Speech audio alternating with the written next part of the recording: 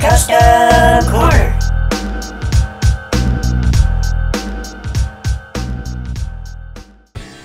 Hey, what's going on? And uh, thanks for coming back and watching uh, my latest edition of Custom Corner. As you can tell, the subject for today is the uh, Mark 30 something Red Snapper Hot Toys. Uh, this was their second Hot Toys Power Pose figure. The uh, the first was the Mark 42. The Mark 42, there was no way in hell I was buying that. Um, hot toys, not hot statues. I want them to make action figures, posable toys, something I can manipulate. Um, statues, I like statues, but I that's not what I buy hot toys figures for.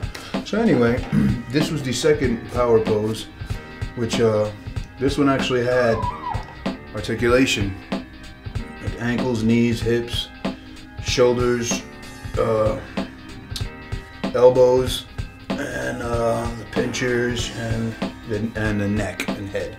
Um, and it looked really nice, and the price was pretty good. It was a nice figure, but I um, I just saw so much more potential and saw that I could do so many things with it and make me like it a bunch more. So I'll, I'll tell you what I actually did. Uh, to start off with, um, this guy's whole thing for me that made him cool was the arms, and uh, that's what set him apart from the rest. And um, he's got these cool pinchers and blah blah blah. And he's got these like extended arms, but they didn't do anything past that. I mean, well, they also light up and stuff, but he's got little arc reactors on it or uh, repulsors on it. But uh, so what I did was actually he had uh, stationary plastic shocks on his arms, and I actually replaced them, and uh, he now has telescoping arms, and uh, they actually go out pretty damn far, and they go back in, of course, and it's I did it on both sides, so there you go. And they're pretty pretty tight because they're new, but actually the pistons or stabilizer shocks, whatever you want to call them in the arms, they're actually chrome over steel, so they're metal and they're really cool. They're super awesome, and uh, it was uh, uh, you know, it was pretty pretty uh, pain in the butt to get the other ones off and these put on, and I wanted them to, you know, be as, as similar looking as, you know, I, want, I didn't want to, want you, people to look at it and automatically see something was done to it. So, but I think they came out really well, and let me close those up.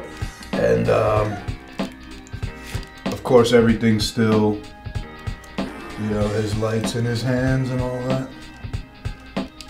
None of that stuff is affected at all. Um, and then uh, after I did that, I was like, um, you know, the big the big thing about this figure that really made me kind of like, ugh. Part that bothered me the most was his actual lack of articulation in throughout the entire body. There was nothing. If it wasn't one of his uh, appendages or his head, or there was no articulation anywhere in the whole body. So I went. I took this thing apart. I took this thing apart down to. This is the actual master bolt and screw that was holding this guy together at the very core.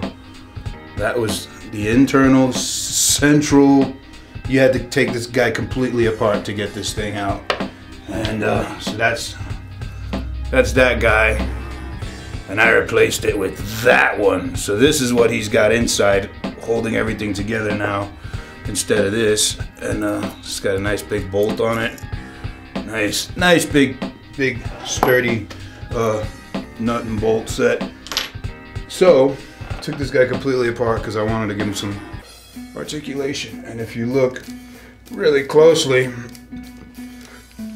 I don't know if you can see that, but I'm going to do close-ups with rotation anyway.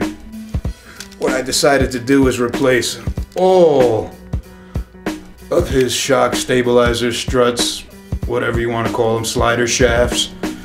I replaced all of them with uh, chromed, chromed uh, steel functional uh, stabilizer bars, whatever you want to call them, uh, uh, articulation linkage.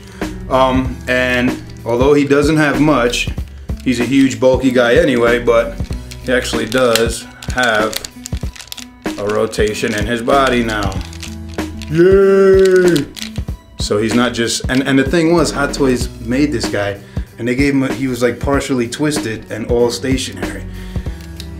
I don't know. At least if they made him straight, it might not have, but he was kind of twisted, like. But uh, anyway, that was massive, massive project. I took on his torso alone, around his core, there is there are 12 uh, shocks, 12, eight, uh, eight of which are actually functional now. There's four on the right and four on the left that actually function, compress, and expand when you uh, move his waist. When you actually, it's actually his upper body that swivels over his waist. But uh, the four floating uh, piston shafts, slider shafts, whatever you want, the four floating ones, well, they're actually floating now. They weren't floating on the original toy. The flo four floating ones are actually functional, and then he has two on either side that are just just pressed up against his waist that don't function. Those never did function and I didn't care to make them function, but the four that were floating, um, they didn't, none of them functioned at all because he had no articulation. I'll show you what I took out of there. It's pretty funny, but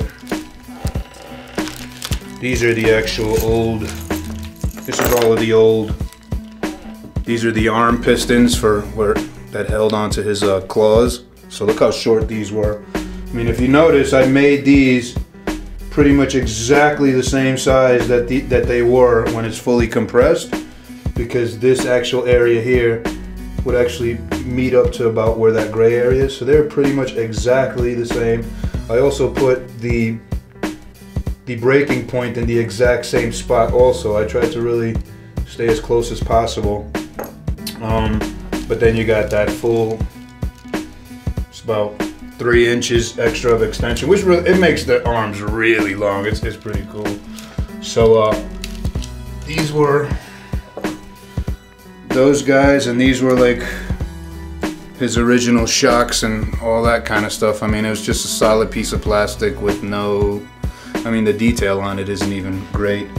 Um, altogether, the figure was very well detailed, but little things like this, I mean, these little shocks, they were just basically glued to the side of the body. And the whole body was static and it was all stiff and he was kind of turned and it's it's really cool. It was a really cool figure to begin with, but once something like this is done to it and makes give him articulation on the core on his body. And then of course I went around and I put steel in the back leg shocks there. See that's a steel shock now too. Same thing, both legs. I also if you could see in those ankles really well, there's steel shock in the ankles also. Those don't function, but I went and replaced them because they were there. The only actual shocks I did not replace with steel shocks or whatever you want to call them, uh, control links, uh, stabilizers, are the four, the two on the front and the two on the rear of his biceps. The reason being that those were not replaced were because those would actually cause those are those are structurally uh, necessary for the biceps. If you cut those away, you're gonna have big gaping holes on the biceps. They basically compose of the front and the rear of the biceps. So cutting those away, it was kind of like I was just gonna have to build completely new biceps, which I do fabricate parts for stuff like this all the time, but they're so hidden and they're so they weren't very important because they serve no functional purpose either. I just left them there and I said, you know what, this is this is enough. Um, but uh, yeah, I thought he was super damn freaking badass as it was anyway. But also, um, I did forget one more thing I did, which was really cool. If you notice, he's got the little holes in his feet there. Of course, I had to go and uh, what are those power switches? Here, okay, now I see the switch. I just couldn't see it before. One. And where's the switch again? And here's the other. Yeah, buddy. I had to do that. Of course, I didn't mess with any of the articulation or anything. Everything is completely uh, internal to his feet as well. Um, there's a little tiny power switch I'll show you in photos, which I can only reach with my pinky. Um, but it's all good. Power switch, the light, everything, the battery source, everything is inside of the feet. Um, beside for, beside the fact that I actually have to semi take apart the feet to replace the batteries, um, which is kind of like, eh, but you know what? Come on, this Iron Man has everything. He has now he's got the, you know, the the light up hands, feet, chest, helmet, everything. And uh, they just don't make them like that. You you might get you might get lucky and get light up feet on one one or two figures here or there, but they just like, come on, man, light it all up. There we go. Isn't that? Come on, man, look at that. Yeah, he's got the feet and everything. This guy could actually take off and fly away and kick some ass. He's got functional, functional articulated upper body now with beautiful functioning uh, uh, chromed over steel suspension built all over the place. And uh, it took me about a solid week. With me, uh, it took me literally six days. Uh, we figured, Wendy and I, we clocked how long it would take, how long it took me to do this. Um, and that's like all day and going to sleep really late in the wee hours of the morning. But that's it. That's what he does. That's still looks beautiful to me. I mean, it looks way better, man. When you look at the way this body area looks now as opposed to the way it was originally manufactured, this thing kicks some serious ass. And he's got a bunch of metal, a bunch of bunch more metal in the construction of them that isn't just the screws. Um, so this actually went from one of my eh, not so favorite Iron Man figures to absolutely one of the coolest Iron Man figures ever from me. turn these off. So there are 12, 12 uh, new uh, suspension links or control links on his body. There are 12 on his body here, eight of which are fully functional. Then you got the two on his arms or on his extend uh, his uh, telescoping arms. Those are also functional. So that's 12. That's 16. 12 of which are functional. And then we have two more functional on the behind his knees. So that's 14 of, of uh, 18.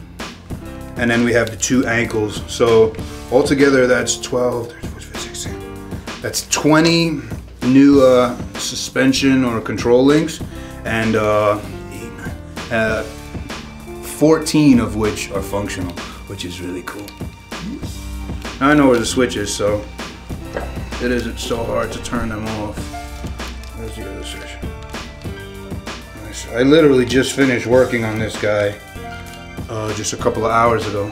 I just finished up these behind the uh, behind the knee uh, suspension. I just did that uh, just a couple hours ago. So yeah, that's him. Uh, it's a good six days of work. This guy is easily one of my favorite and badass, coolest Iron Man figures now. Um, the only thing I might do to him still is get some articulated hands and put them in there. Oh yeah, and these guys now too. These guys are adjustables. Well, I'm not gonna exactly move it right now because it's a tight fit.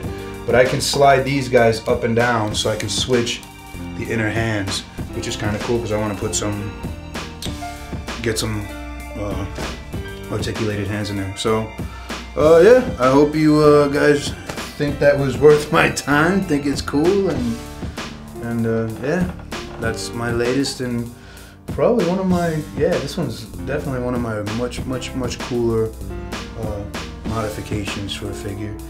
And uh, that whole that whole uh, core section, the way that thing moves, and all the suspension built in there, and it all being metal, and the telescoping arms, and even I guess even the, the light up, you know, the repulsors in the feet. That we need more Iron Man figures like that.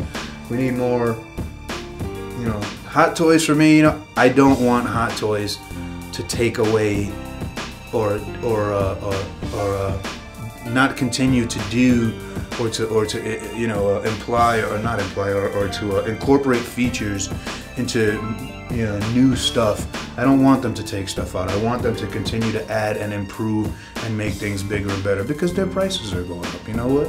And for me to spend my lazy ass, earn money, you know, I want it to be dope. but uh, I hope you guys enjoyed it. Thanks for watching. I'm gonna keep doing cool stuff like this and uh, stay tuned for the responses coming up. Peace. Hey everybody, what's up? This is uh these are the this these are the responses for the for the for the comments left on I believe it was the Storm Shadow with the uh, Storm Shadow I did with the custom uh, rotating eyes, my DX Storm Shadow. So thanks thanks to you guys uh, beforehand for watching and uh, commenting and constructive criticism, whatever you have uh, support anything on my videos or on our videos at the Bomb Show and at Hot Chicks Cool Toy Review. So, start off with Sean Henry. I'm just saying, enjoyed watching YouTube videos. Enjoy, enjoy the customers. I guess, yeah. I'm not exactly sure what you mean, but yes, uh, I uh, I'm glad you enjoyed the customs, and uh, yeah, thanks for commenting. Uh, moving along, moving along Tigrillo, Tigrillo, not sure who that is. Sometimes it is better to work with figures that are cheap. You may have many opportunities to prove them and create a masterpiece. Absolutely. I don't discriminate. I customize, I've, I've customized stuff, man, like really nice custom jobs on cheap ass toys in the past. So, although I wouldn't consider the Sideshow Storm Shadow cheap, but less, definitely less expensive than the Hot Toy Storm Shadow. But yeah, sometimes you create some cool ass stuff. So, uh, thanks, thanks, Tigrillo, Tigrillo. War Machine, I'm moving on, War Machine Vengeance. Damn, you customized articulated eyes. Amazing work, dude. Yes, I did. And thank you very much for the compliment. And I, I, I agree, the Storm Shadow came out really cool. Wasn't that hard of a custom job either. wasn't wasn't too too crazy. Moving on, Raiden 682. Oh, and thanks for the comment, bro. Raiden 682. Can't wait to get this figure. He's an awesome figure. I'm sure you'll love it when you get it. And Next up, we go to, thanks for the comment. Next up, we go to Gifted Monkey. Great job, bro. Loving those custom eyes off the chain. Thank you very much. Yes.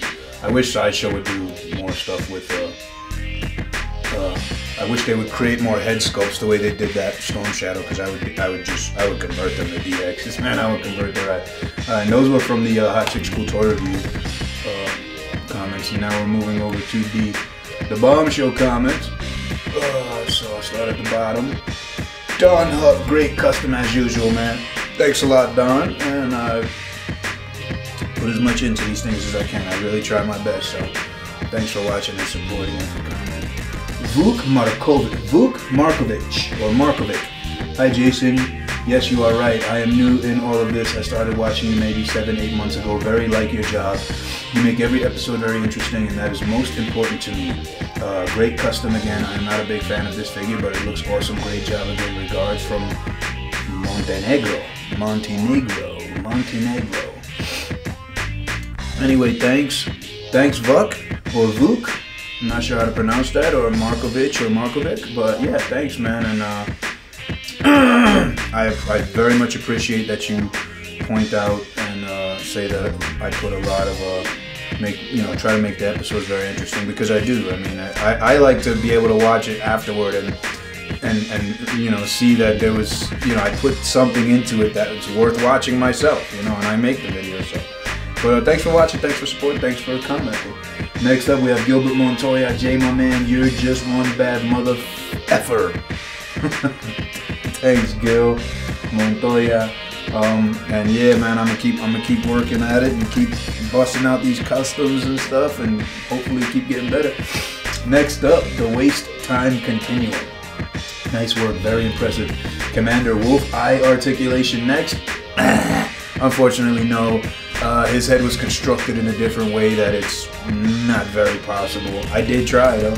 I can do it, but it's not going to be with the eyes that Sideshow originally intended him to have. I would have to use alternate eyes because the eyes included in the wolf head are uh, they're on a flat plate with just the very front of the eyes, uh, whereas the other eyes, the eyes in the Storm Shadow, it was half a circle, half of a of a of a uh, of a sphere built onto a larger piece of plastic that kept both spheres together. So I was able to carve out the rest of the eyeball and the parts I needed to make solid, full moving eyes, and then just build the linkage and all that stuff. But no, unfortunately, I I would. Pretty much any sideshow figures that they make that it's possible or that it isn't going to be impossible, I'll probably do. Um, you know, the sideshow's good with that, man. They make their stuff so accessible, Velcro on everything. They don't glue shit down.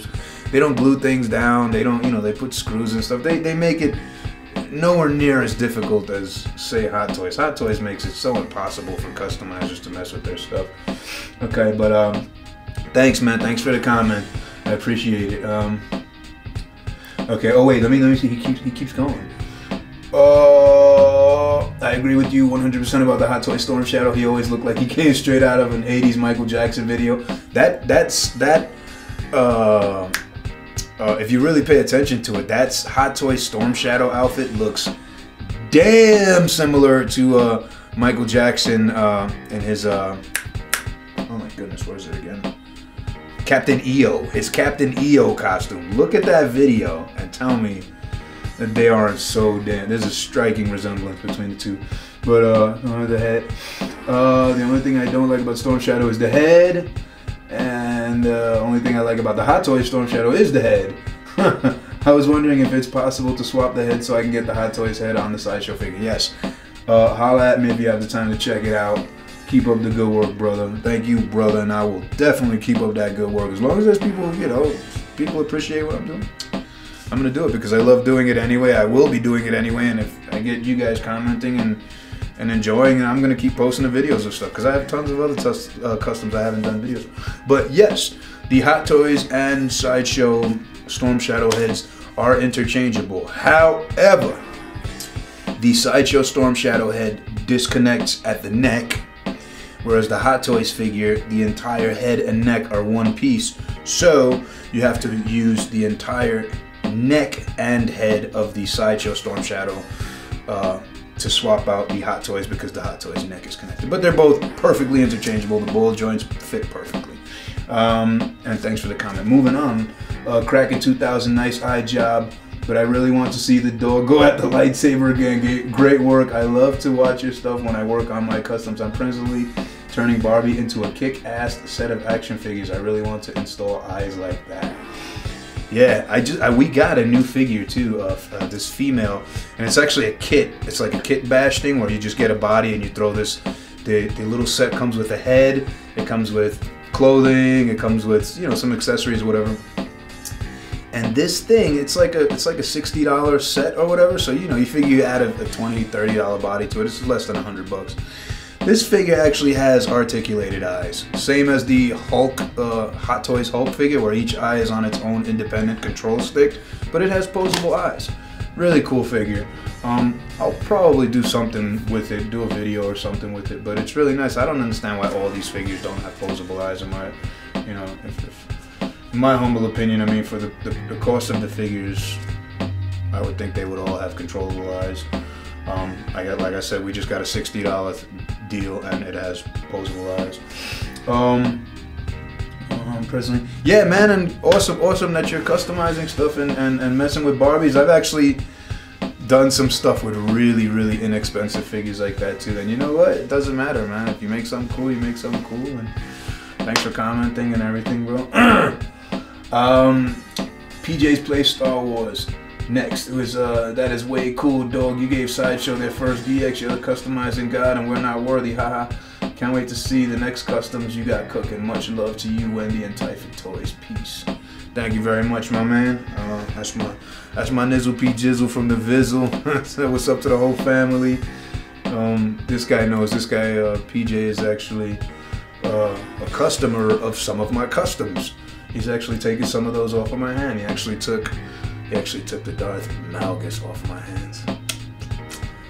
I wish I still had that. And I'm so damn lazy to make another one. but thanks for the comment, my man. We'll talk. You know how we do. Uh, next up, we have the Dark Knight 01. Wow, great custom work, Jay. The eyes turned out great. I'm really enjoying the custom corner videos. Thanks for sharing. I'm glad you're enjoying them, which is and then is exactly the reason why I keep making these videos. Um, I like showing the stuff. You know, if people are interested and they enjoy watching what I do, cool. I'm gonna keep putting them up. Thanks for the comment, bro. Uh, Stiff Kitten's cool idea, but the purse has worn off me, especially as my Batman 89 DX broke after moving it just once. You really should get the Cobra Viper, best G.I. Joe figure released so far, in my opinion, and the Crimson Guard. And off the topic question, I have noticed that since you have opened your shop up, you no longer get the exclusive, be it Sideshow or Hot Toys. Do you miss them?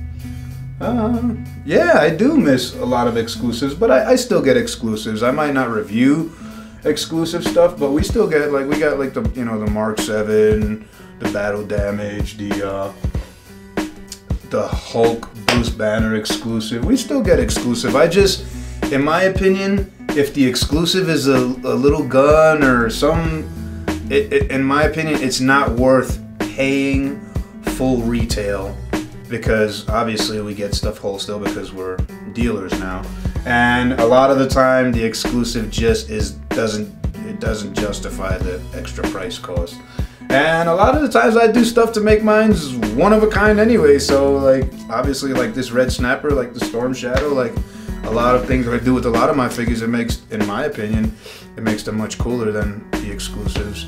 Um, I love when they do exclusive stuff like a base with a different logo on it because that totally means absolutely nothing to me.